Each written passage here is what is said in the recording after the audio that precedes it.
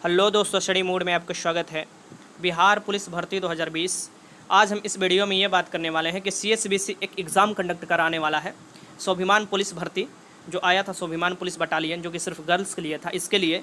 तो क्या जो ये एग्ज़ाम कंडक्ट कराने वाला है, इससे आने वाले जो भी और भी एग्ज़ाम है, जैसे कि बिहार पुलिस में अभी बहुत से एग्ज़ाम को कंडक्ट कराना है। कुछ तो एग्ज़ाम हो चुके हैं जिनका फ़िज़िकल होने वाला है, लेकिन कुछ एग्ज़ाम है जिनका कंडक्ट कराना है। वो एग्ज़ाम कब तक होगा, उस पर हम बात करेंगे। और ये भी बात करेंगे कि जो दरोगा मुख्य परीक्षा है ये आपका एग्ज़ाम कंडक्ट करा सकता है कि नहीं करा सकता है, ये भी हम देखेंगे, ठीक? तो ये सभी बातें हम इस वीडियो में करने वाले हैं तो वीडियो शुरू से लेकर अंत तक ज़रूर देखिएगा। चलिए वीडियो स्टार्ट करते हैं। ये ऑफिशियल नोटिस है। यहाँ पर देख सकते हैं कि कार्यालय जिला पदाधिकारी पश्चिमी चंपारण बेतिया द्वारा जारी किया गया है। ऊपर आप पढ़िएगा तो ध्यान से। ठीक, मैं इसे जूम कर कर आपको बता रहा हूँ। ये चौबीस आठ दो को लिखा गया है और जिला शिक्षा पदाधिकारी द्वारा लिखा गया है और इसको अप्रोच किया गया था सी द्वारा। वहाँ के जिला पदाधिकारी को बोला गया था कि इस डेट में आप सेंटर उपलब्ध कराने की कृपा करें।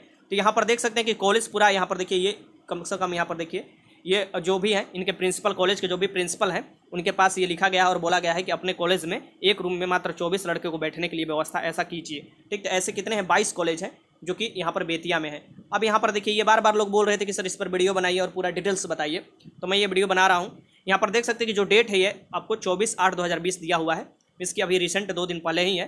ठीक, अभी यहाँ देखिए, केंद्रीय चयन परिषद सिपाही भर्ती, यहाँ पर साफ़ साफ़ लिखा हुआ है। केंद्रीय सी एस बी सी जिसे हम लोग बोलते हैं भर्ती द्वारा बिहार पुलिस के अंतर्गत बिहार स्वाभिमान पुलिस, यहाँ पर देखिए बिहार स्वाभिमान पुलिस बटालियन में सिपाही के रिक्त पद जो थे यहाँ पर चार सौ चौवन पर चयन भर्ती हेतु अभ्यर्थी की लिखित परीक्षा प्रस्तावित तिथि चार दस दो हज़ार बीस मीस की चार अक्टूबर को यह उस दिन रविवार है। को एक पाली में आवेदन हेतु जिला कार्यालय में परीक्षा केंद्र निर्धारण के संबंध में है, ठीक? तो इसमें क्या है कि एक ही पाली में ये इसलिए एग्ज़ाम होगा क्योंकि ये सिर्फ़ एक कैटेगरी की लड़की भरी थी फॉर्म, ठीक? और इसमें भी आपको जो भरी गई, भरा गया है फॉर्म ये बहुत ही कम फॉर्म भरा गया है। ठीक सीट देखिए, चार सौ चौवन है तो ये कम फॉर्म भरा गया है और इसमें इसीलिए एक पाली में कंडक्ट कराना है और ये सोशल डिस्टेंसिंग मेंटेन रखते हुए भी ये एग्ज़ाम कंडक्ट कराया जा सकता है, ऐसा ये अनुमान है। यहाँ पर देखिए, प्रसंग, अध्यक्ष, केंद्रीय चयन परिषद, सिपाही भर्ती, बिहार, पटना, यहाँ पर जो दिया है इनके, इसके प्रसंग में, महाशय उपयुक्त विषय के संबंध में अंकित करना है कि प्रसंगधीन पत्र के द्वारा यह सूचित किया गया है कि केंद्रीय चयन परिषद सिपाही भर्ती द्वारा बिहार पुलिस के अंतर्गत बिहार स्वाभिमान पुलिस बटालियन में सिपाही के रिक्त चार सौ चौवन पदों पर चयन भर्ती हेतु अभ्यर्थी की लिखित परीक्षा की प्रस्तावित तिथि दिनांक, यहाँ पर देखिए, चार अक्टूबर 2020 रविवार को एक पाली में आयोजित होगी। इस हेतु सभी परीक्षा केंद्र तथा संभव जिला मुख्यालय के नगरीय क्षेत्रों में बनाया जाना है। ठीक, ज़्यादातर आपको नगरीय क्षेत्रों में ये बनाया जाना है। उक्त परिप्रेक्ष्य में निमांकित विहित में वांछनीय सूचनाएँ प्राप्त किया जाना आवश्यक है। ठीक क्या आवश्यक है? तो उल्लेखनीय है कि उपलब्ध कमरों की संख्या, जिनमें कम से कम चौबीस अभ्यर्थी के बैठने की क्षमता हो मीस की एक आपको कमरा में चौबीस अभ्यर्थी सिर्फ़ बैठने की क्षमता हो, उनमें सुविधा अनुसार बैठने लायक परीक्षार्थी को कुल अनुमानित संख्या कोरोना संक्रमण के, यहाँ पर देखिए देखिए साफ़ साफ़ लिखा हुआ है, संक्रमण के आलोक में जारी दिशा निर्देश और सोशल डिस्टेंसिंग के आलोक में दो परीक्षार्थी के बीच कम से कम दो गज की दूरी हो मिस की एक और दो मिस की दो लड़कों के बीच में कम से कम दो गज की दूरी हो, ठीक? बैठने की व्यवस्था को ध्यान में रखते हुए तदानुसार परीक्षा केंद्र का चयन करने हेतु निर्देश प्राप्त है। ठीक तो वो आपको सी एस बी सी द्वारा ये बोला गया था, वहाँ के शिक्षा जिला पदाधिकारी द्वारा, पदाधिकारी को, अधिकारी को। फिर ये सी एस बी सी बोला तो वो अपने जो अलग अलग कॉलेज हैं, उनके प्रिंसिपल के पास वो लिखे हैं, खत की इस दिन में ये सेंटर उपलब्ध कराने की कृपा किया जाए। अतः निर्देश है कि दो परिस्थारी के बीच कम से कम दो गज की दूरी कम से कम ये बनाना है। यहाँ पर देखिए, पानी और बेंच डेस्क इत्यादि की सुविधा के आधार पर निम्नलिखित प्रपत्र में वांछित सहमति चौबीस घंटे के अंदर इस कार्यालय में उपलब्ध कराना सुनिश्चित किया जाए, ताकि जिला पदाधिकारी पश्चिमी चंपारण, बेतिया और केंद्रीय चयन परिषद के बिहार पटना आरक्षित परीक्षा केंद्र से संबंधित प्रतिवेदन भेजा जा सके। तो ये चौबीस घंटे में बोला गया था कि उपलब्ध कराने के लिए। इस पर कृपा किया जाए, ठीक? तो ये आपका पूरा, आपका ऑफिशियल नोटिस था, यहाँ पर देख सकते हैं, सब दिया है परीक्षा केंद्र और केंद्र दीक्षकों के मनोनीय राशि हेतु। ये आपको बताया गया है कि कितना क्या है। तो ये सब दिया हुआ ठीक? इससे क्या मतलब बनता है? अब मैं यहाँ पर आपको बता दूँ, पूरा जो प्रक्रिया है। देखिए, ये बेतिया में अप्रोच किया गया था सी द्वारा वहाँ के जिला जो शिक्षा पदाधिकारी है उन, उनको। और वहाँ बोला गया था कि जो अलग अलग कॉलेज है उसमें एक रूम में चौबीस लड़के ऐसे व्यवस्था किया जाए उनके दो गज दूरी भी बने वैसे कॉलेज को चयन किया जाए। और वहाँ पर ऐसे कंडक्ट कराने के लिए हमारे पास जल्दी से जल्दी आप सुझाव भेजो, क्योंकि इसमें फॉर्म बहुत कम है और इस, इसका एग्ज़ाम कंडक्ट कराना बहुत ही ज़रूरी है, क्योंकि ये आपको एग्ज़ाम अब से ये कंडक्ट हो जाता अगर नहीं ऐसा होता तो ठीक? तो ये कहा गया है। ये आप देखिए, ये वाला है, यहाँ से आप इसका डेट भी खत्म हो चुका है, जो अप्लाई होने वाला था फॉर्म और मैं पहले भी आपको बताया था कि जब भी ये डेट खत्म होगा, उसके कुछ ही दिन बाद ही कुछ भी स्थिति हो, इसका एग्ज़ाम कराने के लिए लोग कोशिश करेंगे, ठीक? अब यहाँ पर मैं आपको बता दूँ कि ये आपका जो है, ये वाला ऑफिशियल नोटिस है, इसके बारे में विज्ञापन संख्या ज़ीरो एक दो हज़ार बीस, ये पहला आपका था। इसमें जो था आपको लास्ट डेट ये चौबीस सात दो हज़ार बीस था, आपको अंतिम तिथि। और यहाँ पर चार सौ चौवन जो पद है, ये था इसमें आपको सिर्फ़, आपको क्या था तो ये महिला बटालियन के लिए था। ये ये याद रखिएगा, यहाँ पर देखिए अनुसूचित जनजाति के महिलाओं के लिए सिर्फ़ था इसकी एस कैटेगरी के सिर्फ़ इसमें लड़की आपको भरी होगी फॉर्म और बहुत कम फॉर्म आया है, इस बात को ध्यान में रखिएगा। अब यहाँ पर देखिए तो इसका जो एग्ज़ाम कंडक्ट कराना है, ये 24 अक्टूबर को प्रस्तावित है। अब ये देखा जाए कि 24 अक्टूबर को हो पाता है कि नहीं हो पाता है। अगर होगा तो एक महीना पहले ही नोटिस जारी कर दिया जाएगा सीएसबीसी द्वारा। अभी टाइम है आपके पास तो सितंबर शुरुआत में नोटिस जारी कर दिया जाएगा। अब यहाँ पर देखिए, महत्वपूर्ण सूचना जो है ये केंद्रीय चयन प्रसिद्ध जो परिषद बोर्ड है, ये तो पुराना नोटिस है, ये जारी किया गया था आपको तीस छः की। और ये बताया गया था जो कि जो आपका फ़िज़िकल है जो कि आपको ग्यारह हज़ार आठ सौ अस्सी पदों के लिए है। उसके अभी फ़िज़िकल के लिए बहुत से लड़के इंतज़ार कर रहे थे तो लोग बार बार पूछ रहे थे, सर, बताइए, इसके बारे में कोई न्यू अपडेट आया है कि नहीं? देखिए सी एस बार बार अप्रोच कर रहा है, सरकार से बोला है कि ऐसा उपलब्ध कराया जाए कि पटना के आपको गर्दनी बाग में ये फ़िज़िकल कराया जाए। लेकिन सबसे बड़ी इसमें क्या है?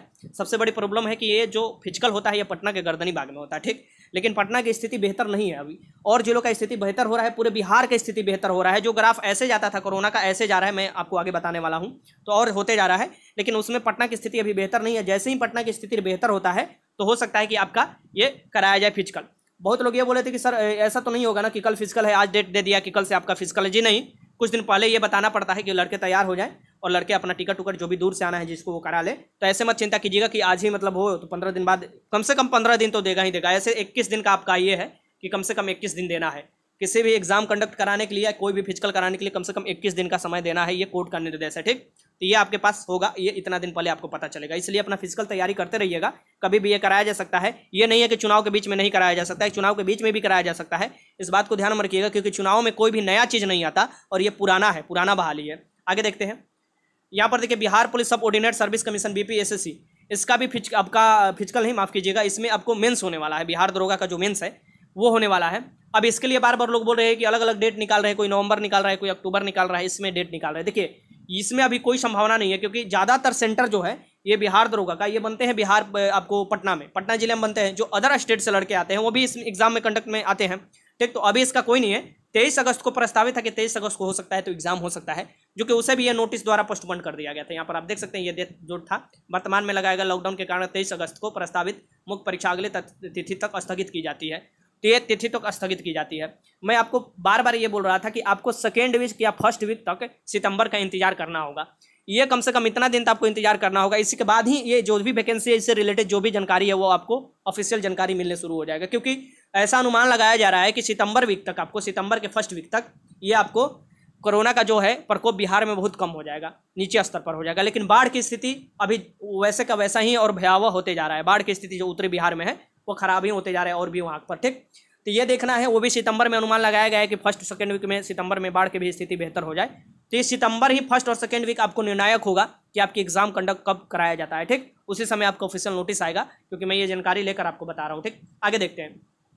यहाँ पर देख सकते हैं बिहार में इक्कीस नए कोरोना पॉजिटिव मिले। संक्रमितों की संख्या यहाँ पर इतना हो गया है। और ये जो है आज से कहा हिंदुस्तान न्यूज़ पेपर में यहाँ पर देखिए, दो बजे, ढाई बजे के करीब अपडेट है। हिंदुस्तान न्यूज़ पेपर में इस ऑफिशियल नोटिफिकेशन ऑफिशियल पोर्टल पर आप जाकर पढ़ सकते हैं। अब इससे क्या साबित होता है? ये देखिए अब एक दिन में इक्कीस सौ तिरसठ, जहाँ दो दो हज़ार, तीन तीन हज़ार, चार चार हज़ार तक मिलने लगे थे पंद्रह अगस्त के बाद, अब धीरे धीरे क्या है कि आपको दो तीन दिन से ग्राफ नीचे आने लगा है और बहुत ज़्यादा मात्रा में चेक भी हो रहा है, फिर भी ग्राफ नीचे आ रहा है। तो ये अनुमान लगाया जा रहा है कि बिहार में अब काबू धीरे धीरे पाया जा रहा है। ठीक तो ऐसा होता है, पूरा अगस्त तो खत्म हो ही गया है। फ़र्स्ट वीक ऑफ़ सितंबर अगर खत्म होता है तो आपको ऐसा लगाया जाए, अनुमान कि अब यहाँ पर काबू पा लिया जाए और कुछ यहाँ पर सुविधा दिया जाए। सुविधा कहने का मतलब कि बस का तो परिचालन शुरू हो चुका है, आपको सोशल डिस्टेंसिंग रहते हुए। बस अब ट्रेन का परिचालन शुरू हो जाना चाहिए तो ये केंद्र अलाउ करेगा और स्टेट अपना निर्णय लेगा। अगर ऐसा हो जा रहा है तो आपको ये एग्ज़ाम कंडक्ट कराना बहुत ही आसान है, ये एग्ज़ाम कंडक्ट कराया जा सकता है, एक ही दिन में ये एग्ज़ाम हो जाएगा। ठीक इस बात को ध्यान में रखिएगा क्योंकि सबसे ज़्यादा जो सेंटर बनता है वो पटना में ही बनता है पूरे आद, पूरे लड़के का आधा सेंटर जो बनता है वो पटना में बनता है और पटना की स्थिति इस समय आप जान ही रहे होंगे आपसे तो छिपा नहीं होगा। ठीक तो ये न्यूज़ था मैंने सोचा सभी को दे दूँ क्योंकि बार बार लोग बोल रहे थे कि सर इस पर वीडियो बनाइए जो बेतिया वाला नोटिस था और जो दरोगा के लिए बार बार पूछ रहे हैं। अब दरोगा मुख्य परीक्षा होगा तो ये भी ध्यान में रखिएगा ये नहीं कि आपको कल मुख्य परीक्षा है आज नोटिस निकाला जाएगा ऐसा नहीं है। आपको अच्छा खासा दिन पहले आपको कम से कम इक्कीस दिन पहले ये आपको जानकारी दिया जाएगा कि आपका मुख्य परीक्षा होगा कि नहीं होगा, ठीक? इस बात को ध्यान में रखिएगा। तो वीडियो अच्छा लगा तो लाइक कीजिएगा। अगर कोई भी मन में डाउट है कौन बॉक्स में लिख सकते हैं। वीडियो देखने के आपका बहुत बहुत धन्यवाद।